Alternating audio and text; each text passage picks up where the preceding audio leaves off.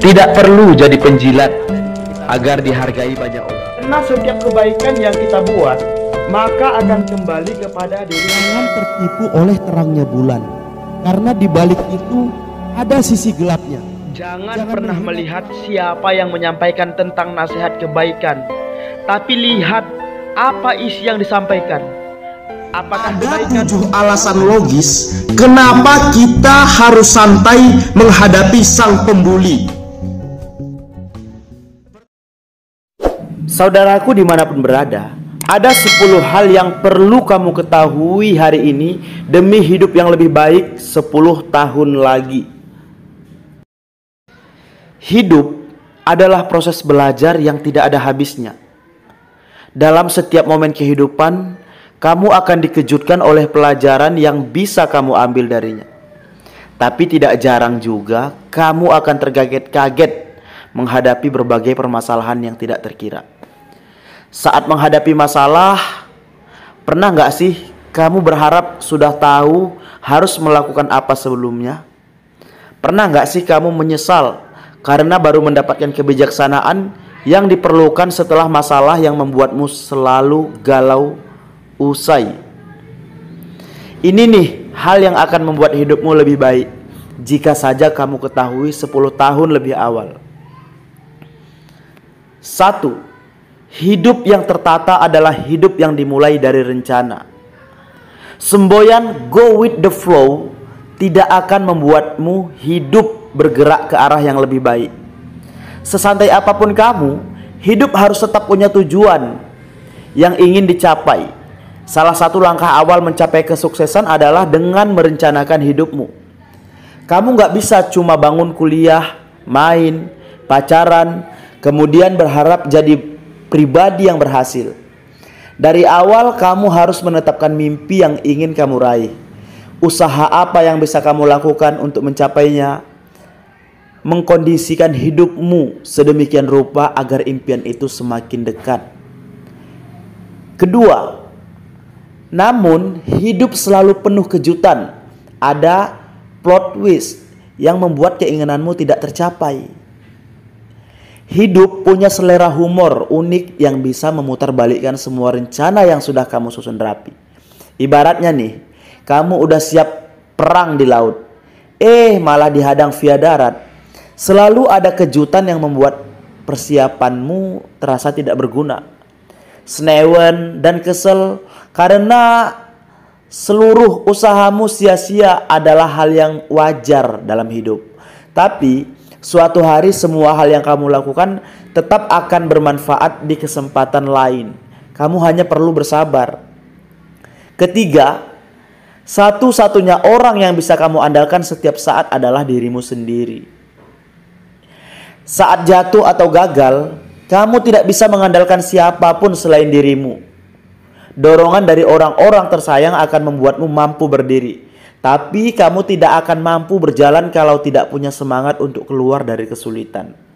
Semua permasalahan yang kamu hadapi akan membuatmu sadar. Terus-terusan mengharapkan bantuan dari orang tidak akan membuatmu berkembang. Kamu akan mulai menguatkan diri untuk menghadapi berbagai masalah dengan berani. Keempat, melarikan diri dari masalah hanya akan membuat problemmu makin parah. Masalah akan selamanya jadi masalah jika tidak kamu hadapi. Sekuat apa pun kamu sembunyi, dia akan menemukan jalan untuk muncul lagi di depan mukamu. Kamu akan merasa tidak nyaman, malas memulai usaha, mengurai benang yang sudah kusut. Tapi saat masalah itu sudah berani kamu hadapi, semuanya akan terasa lebih ringan kok. Giliranmu bertanya-tanya dan menyesal sendiri. Kalau dihadapin aja bisa selesai, kenapa kemarin kamu repot-repot menghindar terus ya? Kelima, berhenti mengutuk masalah. Hidup memang tak selalu baik-baik saja. Ada kalanya kamu akan merasa dipercundangi oleh hidup. Sepertinya kamu udah berusaha sebaik mungkin, tapi kok ya masih saja tersangkut masalah. Seiring berjalannya waktu, kamu akan paham bahwa hidup selalu terdiri dari dua bagian, manis dan pahit. Keduanya akan menyapu dan menyapamu secara bergantian.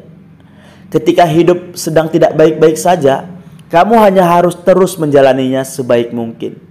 Mengutuk masalah hanya akan membuatnya terasa makin berat. Kamu akan belajar banyak tentang bagaimana caranya berdamai dengan hal yang membuatmu tidak nyaman.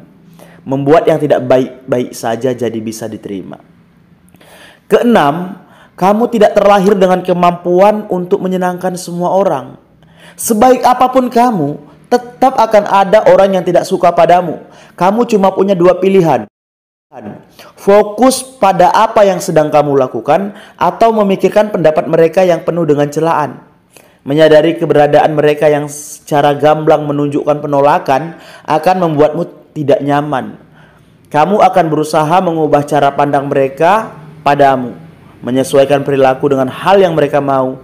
Tapi pada akhirnya kamu akan tahu sebagai manusia biasa kamu tidak punya kemampuan untuk membuat semua orang sepakat dengan pilihan hidupmu. Kesadaran itu akan membuatmu meletakkan pendapat negatif di sisi hidup yang sulit dijangkau energi. Energi sudah habis untuk mengejar impian. Kamu malas kalau harus bersusah payah mengambil hati mereka yang selamanya tidak akan bisa sejalan. Ketujuh, satu kebohongan pasti akan mengantarkanmu ke tumpukan kebohongan yang lain. Ya, menutupi kesalahan dan kekuranganmu dengan kebohongan tidak akan menyelesaikan masalah sob. Sesaat semua akan berjalan baik-baik saja. Tapi ketika kebohonganmu mulai terkuak, perlahan hidupmu akan hancur. Kepercayaan adalah hal nomor dua, tersulit untuk didapatkan kembali setelah iman. Berbohong tidak hanya menghancurkan dirimu, tapi juga menyakiti orang-orang yang kamu sayangi. Lubang yang ditimbulkan oleh kebohongan tidak akan mudah tertutup oleh perhatian dan kebaikan. Seandainya kamu tahu lebih awal kalau berbohong itu seperti bunuh diri. Delapan, pertemanan itu seperti cinta. Ia butuh diusahakan agar bisa bertahan. Teman akan berubah jadi spesies langka. Jika dulu kalian selalu menghabiskan waktu bersama, semakin dewasa kesibukan dan tanggung jawab membuat kalian larut dalam rutinitas. Kehilangan jejak teman yang dulunya dekat jadi hal yang biasa terjadi. Seandainya kamu tahu dari awal bahwa ikatan pertemanan juga butuh diperjuangkan agar bisa bertahan, kalian perlu meluangkan waktu untuk saling berkirim kabar, menyempatkan diri berkumpul di tengah kesibukan. Hubungan pertemanan yang tidak diusahakan perlahan akan hilang dan dilupakan.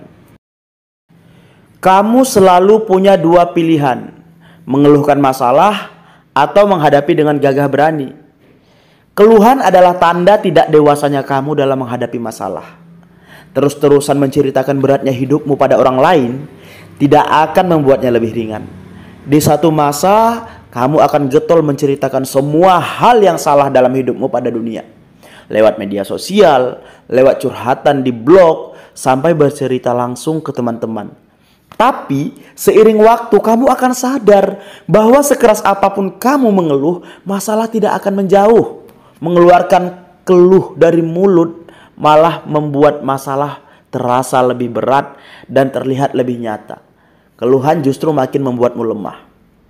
Sepuluh, kamu tidak akan bisa bugar dan langsing tanpa usaha selamanya. Mulai hari ini sisihkan waktu untuk berolahraga Ya, tubuhmu akan berontak kalau tidak dijaga dengan baik. Masa-masa bisa makan bebas, tapi tetap punya badan bagus akan lewat dengan cepat kalau kamu tidak berusaha untuk mempertahankan bentuk tubuhmu. Ternyata olahraga itu penting banget.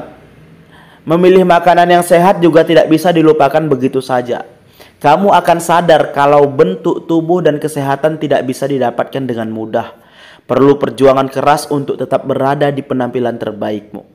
Penampilan oke yang didapat dari keringat dan kerja keras hanya boleh kamu bagi dengan seseorang yang benar-benar menghargaimu.